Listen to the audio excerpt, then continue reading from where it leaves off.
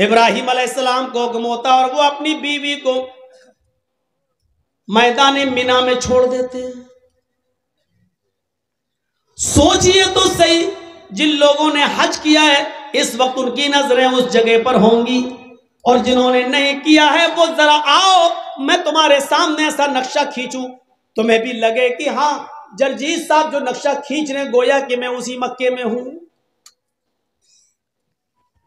जिस जगह पर इब्राहिम अलैहिस्सलाम ने अपनी बीवी हाजरा को छोड़ा, उस वक्त उनके पास थोड़ा सा सत्तू था। एक दिन का या दो दिन का पानी था बस। ऐसी जगह पे छोड़ा जहाँ बड़े बड़े दरख्त थे, पेड़ थे ट्रीज थी बहुत ज़्यादा, लेकिन उन दरख्तों पर कोई चिड़िया नहीं बैठी थी, कोई परिंदा नहीं बैठा था। चिड़िया भी ऐसी जगह पर घोंसले बनाती हैं जहाँ आसपास उनको पानी मिल जाए, लेकिन वहाँ तो आसपास कहीं पानी ही नहीं। इसलिए चिड़ियों ने, कौओं ने, कबूतरों ने घोंसले भी नहीं बनाए पानी नहीं था दूर दूर तक। ठंडा हो गया। हो तो दो, नहीं तो अब तो आवाज़ सही हो गई। लेकिन थोड़ा पीते रहेंगे तो अच्छा कल भी बहुत दूर प्रोग्राम है अलीपुर द्वार न्यू अलीपुर द्वार काफ़ी दूर है। तो निकलना भी है। तो सुनिए मेरे भाइयों, लेकिन है बंगाल ही में। तो ऐसी जगह पर छोड़ा अपनी बीवी को। अब बीवी को क्या मालूम था?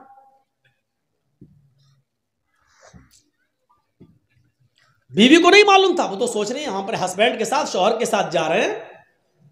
और इब्राहिम अलैहिस्सलाम ने भी नहीं बताया कि हम तुम्हें छोड़ने जा रहे हैं, वापस आ जाएँगे। सर्जिकल स्ट्राइक, इसको कहते हैं। ये कोई सर्जिकल स्ट्राइक है? रात की रात में जब चाह बंद कर दिया, नोट नहीं चलेगा दो हज़ार का। ये तो पागलपन है। छोड़ दिया! दरख्त हैं, लेकिन चिड़िया नहीं हैं। साए साए बीत रही है जंगल में। और आज भी मौलाना जर्जीस को रात के अंधेरे में मालदा से कलिया चक से मालदा जाने में डर लगेगा। रात में दो बजे, तीन बजे, चार, पाँच लोगों चाहिए हमें पहुँचाने के लिए। लेकिन सोचो, आज लाइटें हैं तब, मोबाइल का जमाना है तब। वहाँ तो लाइटों का जमाना भी नहीं है। और इब्राहिम अलैहिस्सलाम अपने साथ तेल भी नहीं ले गए और टॉर्च तक नहीं है कि रास्ता दिखा सके। बियाबान जंगल में इस्माइल को और हाजरा को छोड़ दिया। अल्लाह की कसम, दस मिनट भी अपनी बीवी के पास नहीं बैठे, यहाँ छोड़ा, चादर बिछाई और बीवी से कहा, यहाँ बैठो और बच्चे के पास रहो। जाने लगे। हाजरा ने देखा कि इब्राहिम जा रहे हैं। बच्चे को उसी ज़मीन के ऊपर पड़ा हुआ छोड़ दिया हाजरा दौड़ती हुई जाती हैं। और अपने शौहर इब्राहिम का दामन पीछे से पकड़ती है। हम्म, हम्म। आए इब्राहिम कहा जा रहे हो? इब्राहिम अलैहिस्सलाम ने हाथ पकड़कर झटक दिया। अपनी बीवी के सवाल का कोई जवाब नहीं दिया। आगे फिर बढ़ गए। बीवी ने फिर कहा, मैं आप ही से कह रही हूँ आई मेरे हस्बैंड कहा जा रहे हो? कोई जवाब नहीं दिया। हमारी औरतें तो जवाब देने में बड़ी माहिर हैं। हर चीज़ का जवाब नहीं होता है। बहुत सी चीज़ों का जवाब खामोशी भी होता है। इब्राहिम अपनी बीवी से स, के सवाल का जवाब नहीं दे रहे हैं। जानते हैं कि जवाब देंगे तो दूसरा सवाल उठेगा। उसका जवाब देंगे तो तीसरा उठेगा। वक्त की बर्बादी होगी। चले आगे। बीवी ने फिर कहा आ इब्राहिम क्या मुझसे कोई गलती हो गई? एक बीवी का जो फ़र्ज़ है, क्या मैं उसको निभाने में नाकाम रही? क्या मैंने आपके साथ कोई गलत किया? क्या आप मुझसे परेशान हैं? मैंने आपको कभी किसी चीज़ का दुख दिया है? शायद इब्राहिम सलाम के पास हाजरा के अपनी बीवी के सवाल का जवाब भी नहीं था। वो आगे बढ़ते चले जा रहे हैं। और अपनी बीवी के सवाल का कोई जवाब नहीं दे रहे हैं। ज़ाहिर है इतने सवालों के बाद बीवी को गुस्सा ही जाएगा। वो दौड़ती हुई फिर आगे बढ़ी और पीछे से कुर्ता, कमीज पीछे से खींचते हुए कहा, जा रहे हो तो जाओ, मैं रोकूँगी नहीं। इतना तो बता दो। इला मन रुकुना कुरान के अल्फाज देखिए। इला मन रुकुना हमें किसके हवाले छोड़ के जा रहे हो? अपने बच्चे इस्माइल को किसके सुपुर्द करके जा रहे हो? यहाँ जंगल है। बियाबान जंगल है, दरिंदों की आवाज़ें आ सकती हैं, खतरनाक जानवर भी आ सकते हैं। या कोई काफिला आ गया और मेरी इज़्ज़त आबरू को लूट लिया, हमारी इज़्ज़त को तार तार कर दिया तो कल जब आप आओगे और मैं आपको चेहरा दिखाने के लायक न रही, फिर मैं आपको क्या जवाब दूँगी? जा रहे हो तो जाओ। इला हमें किसके सुपुर्द करके जा रहे हो? हमें किसके हवाले करके जा रहे हो? आए घरों की चौखटों पर भरोसा करने वालों, घरों में बनाई हुई ताक पर भरोसा करने वालों अगरबत्तियाँ जलाकर बुज़ुर्गों की रूहों को अपने घरों में बुलाने वालों, ज़मीन की मिट्टी चूमने और चाटने वालों, तोहीद सीखो। बीवी ने रुकुना हमें किसके सुपुर्द करके जा रहे हो? हमें किसके हवाले करके जा रहे हो? आवाज़ आती है। यहाँ इब्राहिम ने अपनी बीवी के सवाल का, इस क्वेश्चन का जवाब, इसका आंसर दिया और इसको ज़रूरी समझा। इब्राहिम ने पीछे मुड़ के नहीं देखा, लेकिन अपनी बीवी के सवाल का कि मुझे किसके सुपुर्द करके जा रहे हो? मुझे किसके हवाले करके जा रहे हो? इसका जवाब दिया उंगली से इशारा करके आए मेरी बीवी, मैंने तुझे और तेरे बच्चे को, अपने बच्चे को, इस्माइल को अल्लाह के सुपुर कर दिया है, अल्लाह के हवाले कर दिया है, अल्लाह के हुक्म से मैंने यहाँ छोड़ दिया है। अब अल्लाह जहाँ हुक्म देगा? मैं जा रहा हूँ। कब आओगे? पता नहीं। एक दिन भी लग सकता है, एक हफ़्ता भी लग सकता है। एक महीना भी लग सकता है। एक साल भी लग सकता है। दस सालें भी लग सकती है। ये भी हो सकता है कि ना सकू। कोई जवाब नहीं। किसके सुपुर्द? इसका जवाब दिया अल्लाह के। बस। अब हाजरा मुस्कुरा देती है। जानती थी ईमान क्या है? देखिए, जो खौफ था कि शेर ना खा जाए, जो खौफ था इस जंगल में कोई आकर मेरी इज़्ज़त व आबरू न लूट ले। जब हाजरा ने सुना, मेरे शोहर ने कहा, अल्लाह के, ईमान देखिए, दामन छोड़ देती है, ताकत आ जाती है ईमान की हाजरा के अंदर। और क्या कहती है? अब आप जाइए। अब आप जाइए! इब्राहिम ने पीछे मुड़ के नहीं देखा। चले चले जा रहे पीछे मुड़ के देखेंगे, बच्चा अंगूठा चूस रहा है। पैर हिला रहा है। कहीं बच्चे की मोहब्बत मेरे दिल में जोश ना मार जाए, कहीं हम फिर अपने बच्चे के पास लौट के ना आ जाए, कहीं अल्लाह के हुक्म की नाफरमानी ना हो जाए। पीछे मुड़ के नहीं देख रहे, ईमान कुर्बानियाँ माँगता है। तुम डीजे की कुर्बानी नहीं दे सकते हो। नाम है इकरामुद्दीन। नाम है तजम्मुल। नाम है तुफैल अहमद, नाम है मोहम्मद जर्जीस, नाम है मोहम्मद फला मोहम्मद फला। पूछो, कुर्बानी क्या दी है? कुछ नहीं। ली और है दूसरों की, दी कुछ। अब जाओ, छोड़ दिया। जब इब्राहिम दस कदम आगे बढ़ गए, तब बीवी ने कहा, आप मेरी फ़िक्र मत करना। इस बच्चे की फ़िक्र मत करना। आ इब्राहिम, अपने काम में मन लगाना। अल्लाह तुम्हें जिस काम के लिए भेज रहा है, उस काम को दिलो जान से करना, मेरी फ़िक्र मत करना। मेरी तरफ़ दिमाग मत लगाना। इस बच्चे के बारे में मत सोचना।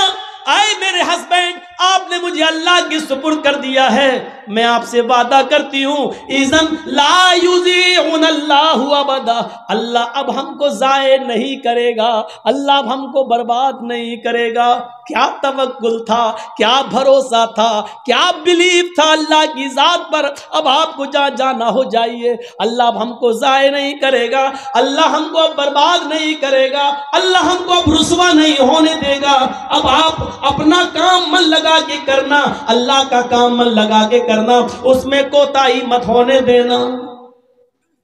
यहाँ संभाल लेंगे, हम देख लेंगे।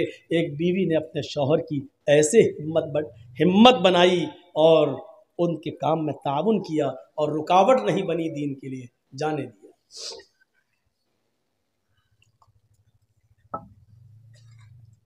चले गए।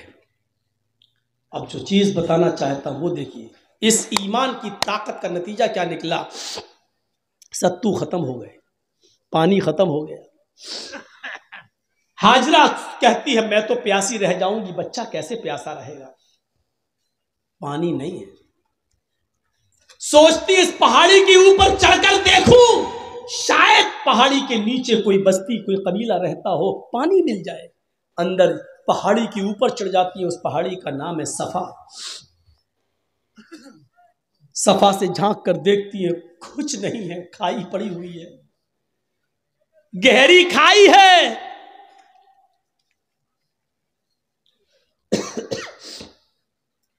मरवा की तरफ़ जा रही है।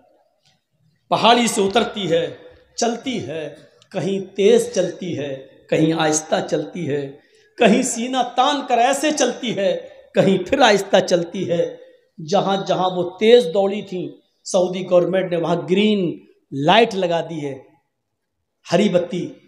यहाँ से तुम्हें तेज दौड़ना है और जहाँ ख़त्म होती है, वहाँ आहिस्ता होना है। फिर जहाँ ग्रीन है, वहाँ फिर तेज दौड़ना है।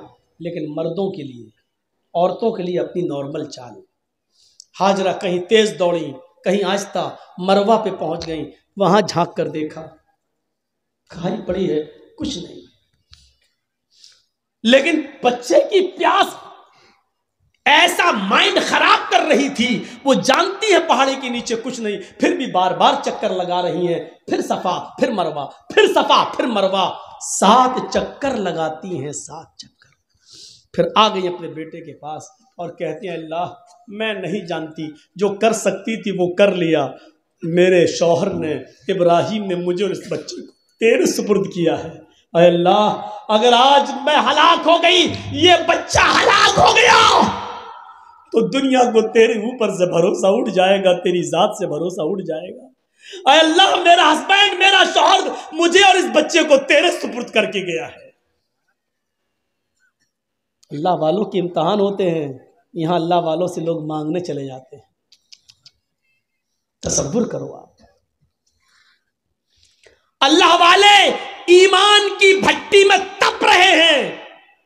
यहाँ हम ईमान की भट्टी में तपना जानते ही नहीं है, उन तपे हुए लोगों के पास मदद के लिए पहुँच जाते हैं। ईमान वालों की ज़िंदगी हमें यह बताती है कि हमें उनके नक्शे कदम पर चलना है। हम उनके नक्शे कदम पर चलने के बजाय उन्हीं को सब कुछ समझ लेते हैं। मेरे प्यारे साथियों, यहीं से गलत फहमियाँ पैदा होती हैं। यहीं से गलत फहमियाँ पैदा होती हैं। यहीं से डाउट्स उठते हैं। आइए, चलिए और देखिए मंजर। मेरे शोहर ने मुझे तेरे सुपुर्द और इस बच्चे को तेरे सुपुर्द किया है। अल्लाह मेरा बेटा प्यासा है, इसके लिए पानी का इंतज़ाम कर। अभी उसने इतना कहा ही था। मर्द तो मर्द, छोड़ो मेरे भाइयों। अल्लाह ने औरतों की फरियाद भी सुनिए अगर किसी औरत के अंदर ईमान की ताकत आ जाए तो अल्लाह उसकी फरियाद भी सुनता है। ईमान, औरत के अंदर हाजरा की दुआ रंग लाई। अल्लाह ने कहा, जिब्रील, क्या देख रहे हो? मेरी बंदी की अगर मैं मदद नहीं करूँ, इस्माइल को अगर आज मैं पानी ना पिलाऊं तो मेरे अलावा कौन है जो मेरी बंदी की फरियाद सुनेगा? जाओ, आए जिब्रील ज़मीन पर जाओ। जहाँ मेरा बंदा इस्माइल अपनी एड़ियाँ रगड़ रहा है, जहाँ उसके पैरों की एड़ियाँ ज़मीन पर रगड़ खा रही हैं, उसी जगह पर तुम अपना पर मारो और मेरी कुदरत का करिश्मा देखो। जिबरील ने उसी जगह पर मारा और पानी का चश्मा जारी हो गया। चश्मा फूट गया पानी का।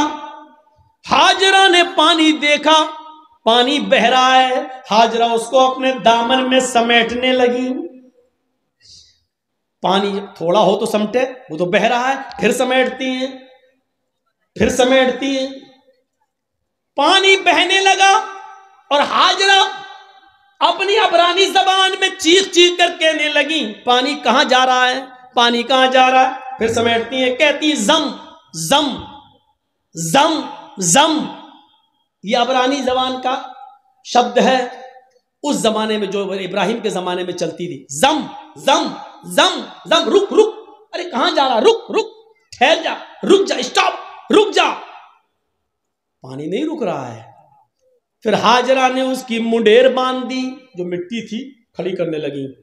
ताकि पानी को रोक लें। अल्लाह के नबी ने एक मिंबर पर खुतबा दिया, जुमे के दिन, और मिंबर पे खड़े होके कहा था, अल्लाह हाजरा पर रहम फरमाए कि उसने पानी की मुडेर बाँध दी, उसने पानी की एक दीवार खड़ी कर दी। अगर उसने पानी की मुडेर न बांधी होती, पानी की रोकथाम न की होती तो वो पानी अल्लाह पूरी दुनिया में पहुँचा देता। अगर वो पानी पूरी दुनिया में पहुँच जाता तो उसकी कदर कम हो जाती। जो पानी आज गंगा का देख लो बह रहा ना, लोग उसमें लेटरिन भी कर रहे हैं, पेशाब भी कर रहे हैं, और आज गंगा चुनाव का मुद्दा बन चुकी है।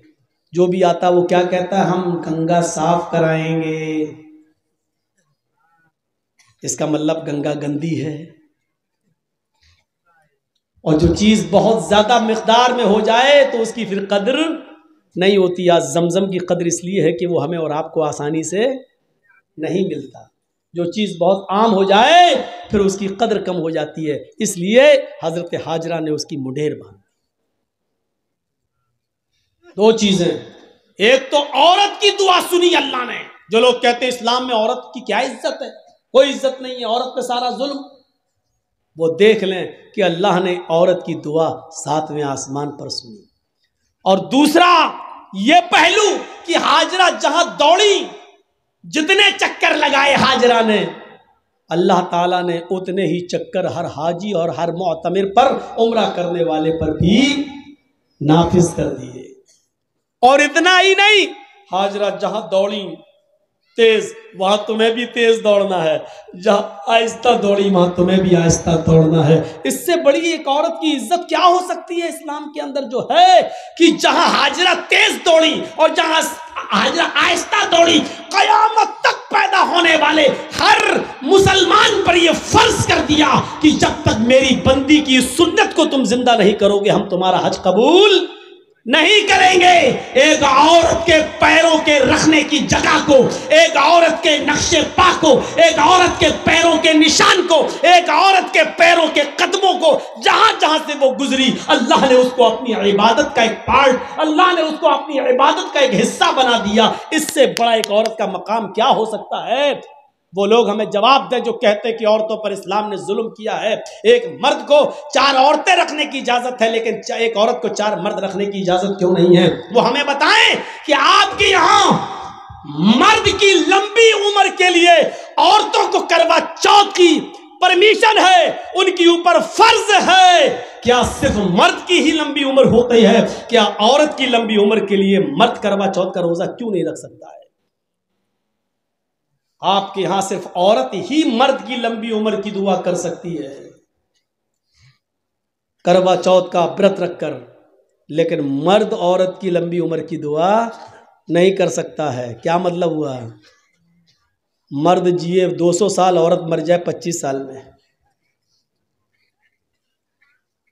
सवाल हमारे पास भी हैं, लेकिन नहीं कह सकते हैं। सही वक्त पर सही बात कहना चाहिए। कभी कभी सही बात सही वक्त पर नहीं कही जाती है। आप कहिए, डरते हो? डरते नहीं हो, इसी का नाम मसलहत है। वरना आज ये ज़माना है मेरे भाइयों कि आप सही भी बोलेंगे तो अंदर आप जाएँगे। मौलाना कलीमुद्दीन की जो गिरफ्तारी हुई है, क्या गुनाह था उनका? मुझे बताइए, क्या इस दुनिया के अंदर या इस मुल्क के अंदर क्या इस्लाम की दावत देना जुर्म है क्या? धर्म का प्रचार करना जुर्म है क्या? और क्या इस मुल्क के कानून में यह नहीं है कि कोई भी आदमी, कोई भी मज़हब, कोई भी धर्म कबूल कर सकता है? जब हर आदमी को अपने मन के मुताबिक मज़हब को कबूल करने की इजाज़त है तो आपने मौलाना कलीमुद्दीन को अरेस्ट क्यों किया? जब जीतेंद्र नारायण त्यागी टीका लगा सकता है। हम मुसलमानों को उसके धर्म परिवर्तन पर कोई एतराज़ नहीं है। तो अगर कोई हिंदू मुसलमान हो रहा है तो आपको क्यों एतराज़ हो रहा है?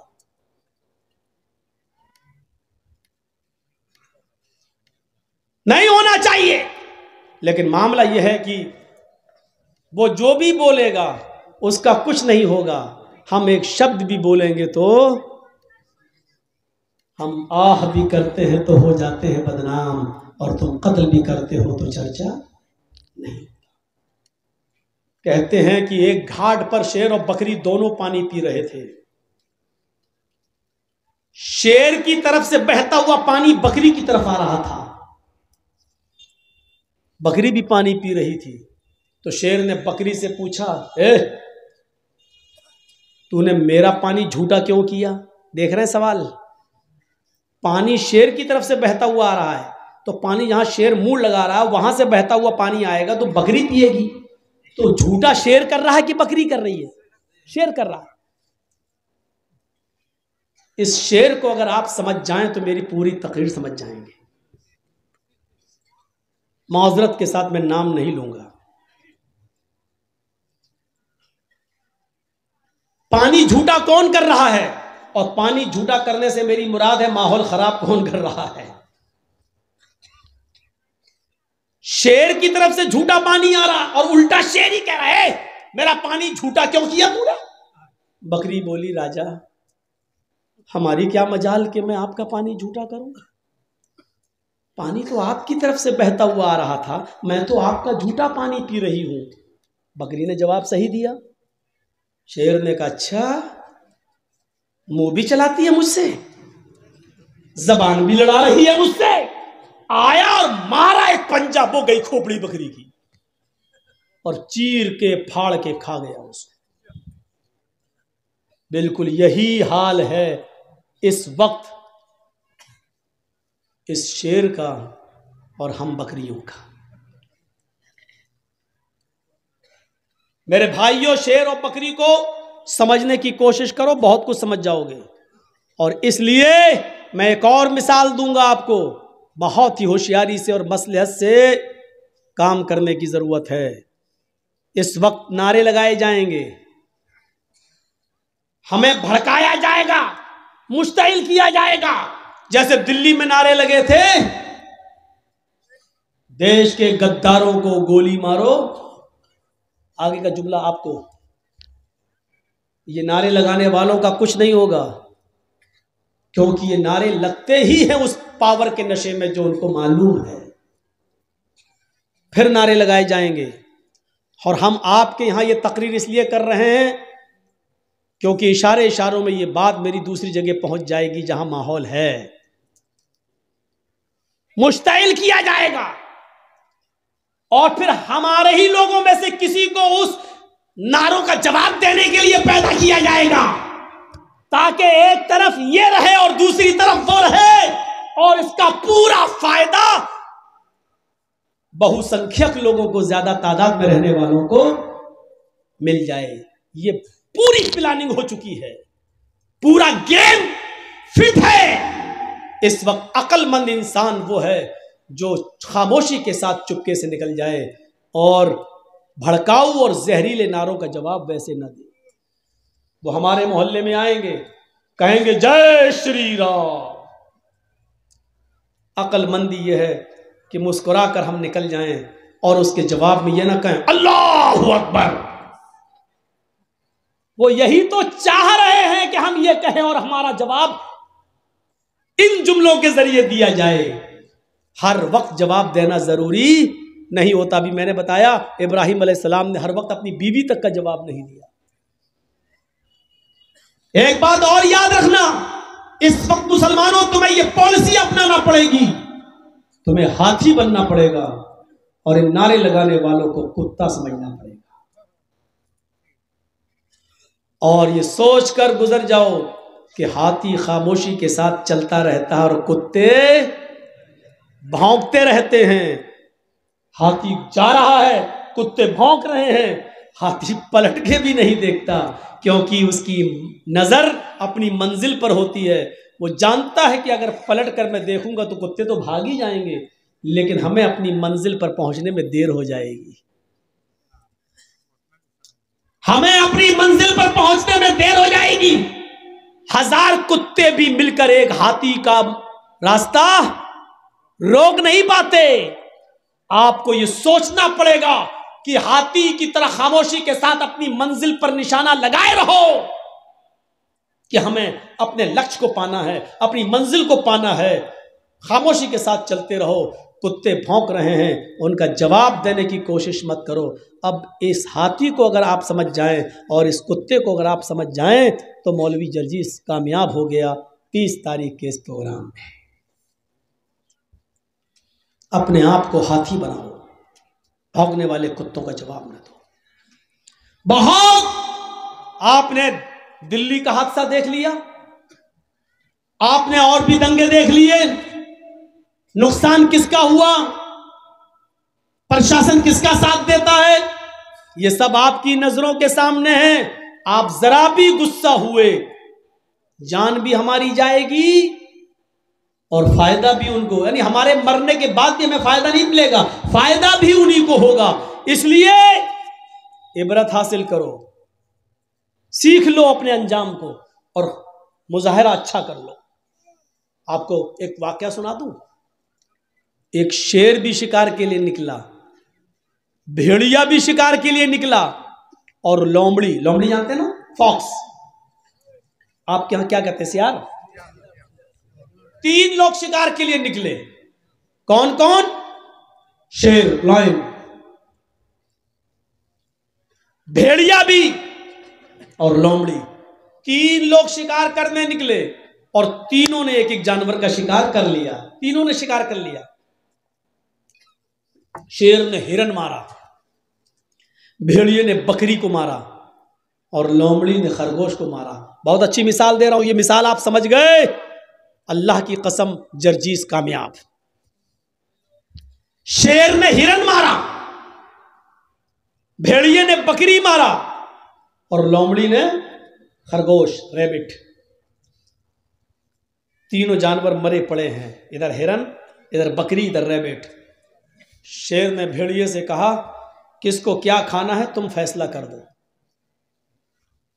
शेर ने भेड़िए से कहा, किसको क्या खाना है, तुम फैसला करो। सही फैसला करना। भेड़िए ने कहा, बहुत आसान। हाँ बताओ कैसे? भेड़िए ने कहा, अरे राजा, किंग, हिरन आप खा लीजिए। बकरी मैं ले लेता हूँ और रैबिट जो खरगोश है वो लोमड़ी को दे दीजिए। तीन जानवर और तीन ही खाने वाले, आप बड़े हैं, हिरन ले लीजिए। हम बकरी ले लेते हैं। लोमड़ी को खरगोश रैबिट दे देते हैं। शेर ने कहा, इतना बुरा फैसला, इधर मारा एक पंजा, भेड़िए की गर्दन, गायब। मर गया वो। भेड़िए साहब मर गए। उसने कहा, कम वक्त फैसला करना नहीं जानता। इतना बुरा फैसला किया। लोमड़ी से कहा, तुम फैसला करो। लोमड़ी से कहा कि तुम फैसला करो। लोमड़ी कहती, बहुत आसान। कहा, क्या? कहा, साहब, हिरन आप सुबह नाश्ते में खा लीजिए और बकरी आप शाम को खा लीजिए। अब बच्चा खरगोश तो मुँह का जायका बदलने के लिए उसको दोपहर में खा लीजिए। तीनों जानवर आपके, सुबह हिरन खा लीजिए, शाम को बकरी और मुँह का टेस्ट बदलने के लिए खरगोश को दोपहर में शेर ने कहा वाह वाह लोमड़ी कितना अच्छा फैसला किया।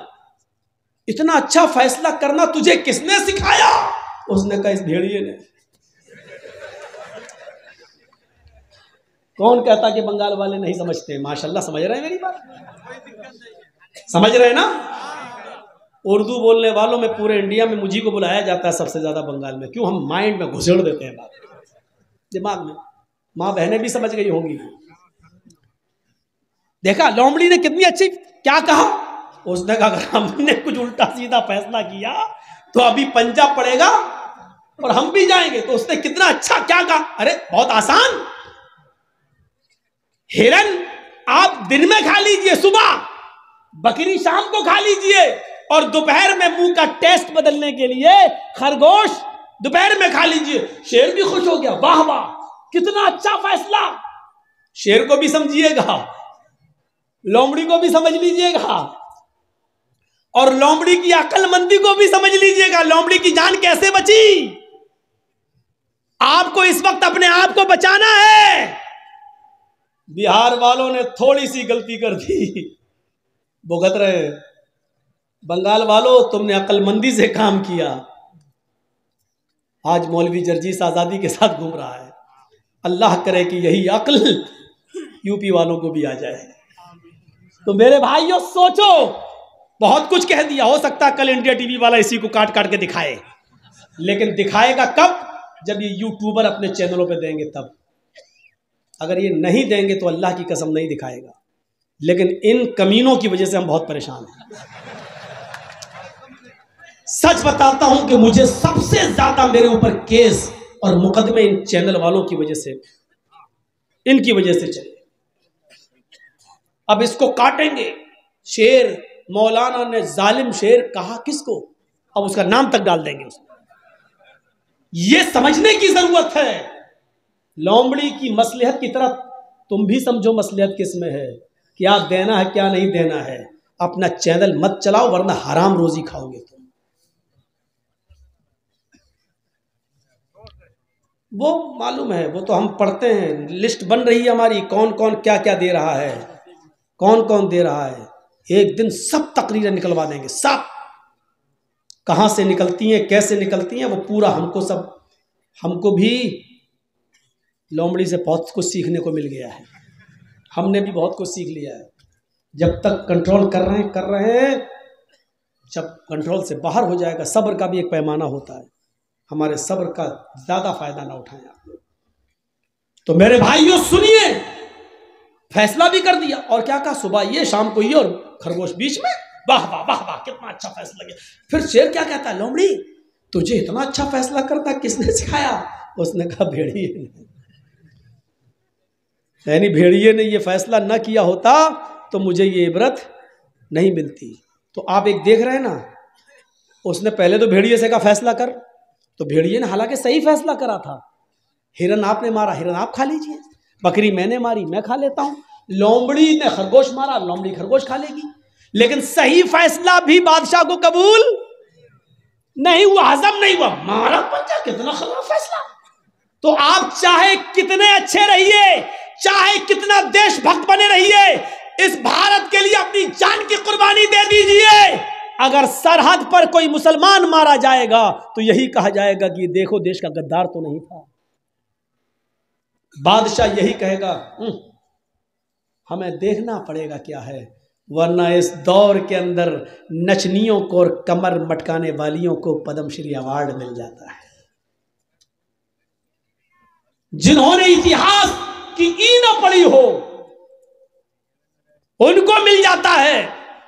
और जिन्होंने कोरोना काल के अंदर गरीबों के घर अनाज पहुँचाया, गल्ला पहुँचाया, सिलेंडर पहुँचाया, आज उनको कुछ नहीं मिलता, क्योंकि इस दौर में जीना है तो चापलोसी करना सीखो। तो मेरे भाइयों, लोमड़ी की तरह कलमंद बनो। आप हालात देख रहे हो, उस हालात से जायजा